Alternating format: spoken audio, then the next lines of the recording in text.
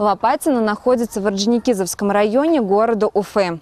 С недавних пор здесь стала хозяйничать стая бездомных собак. Самостоятельно решить эту проблему жителям не под силу. Двадцать первого апреля я не могу вспоминать без содрогания. Я шла из сада, и неожиданно на меня набросилась целая свора собак, даже больше на 10. Они стали сразу воинственно так на меня наскакивать. Я опешила, у меня даже не успела ни палку, ни камень взять. Я стала отмахиваться, они у меня их вырвали, эти пакеты. Стала пятиться назад от них, кричать, звать на помощь. Я не знаю, что бы со мной случилось, если бы не ехала машина из деревни. Там ехала семья. Они меня, конечно, спасли, можно сказать. Начинаются эти собаки, да, с э, Ушаковой улицы. С Уса- ш- э, Они всю зиму там живут. Весной они все, эти собаки, приходят э, в сады. непосредственно обращались в службу по ловле собак, обращались в Орджоникидзевский район коммунальных услуг. Хотим, чтобы служба по отловле собак приняла меры и ну, усыпила их или как. Они же должны это делать. Мы живем здесь в саду, прописаны. И у меня ребенок ходит в школу один.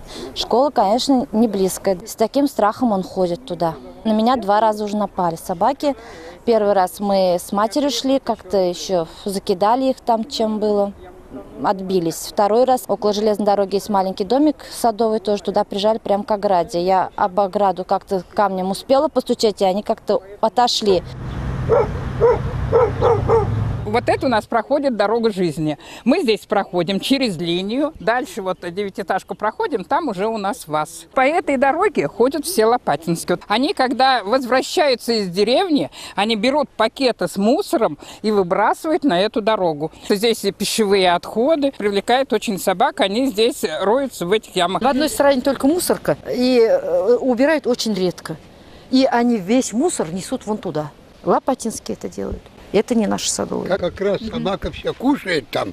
Вот где-то собака как раз, они ночуют вот здесь по 10 штук вместе все и нападают на людей. Если вот случилась ситуация, и вы попали э, на узкой дорожке и стая собак, надо как можно спокойнее пройти мимо, не привлекая к себе внимания. В крайнем да, случае можно в них кинуть камнем, веткой, чем-то таким. Громко, громко хлопнуть в ладоши. Бездомные чаще всего это очень трусливые собаки, и вот этих вот мер бывает достаточно. Надо их или истреблять, или, как говорится, усыплять, отлавливать. А вы, как вы думаете, когда спецавтохозяйство отлавливает, как вы говорите, что с этими собаками происходит? Они применяют препарат, который вызывает длительную мучительную смерть животного. Я тоже собачница.